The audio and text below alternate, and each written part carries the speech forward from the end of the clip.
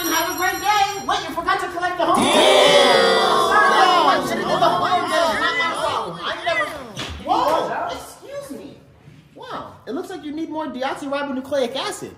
No, I need more DNA. Um, that's what DNA stands for. No, no, I need more DNA on my basketball team. For?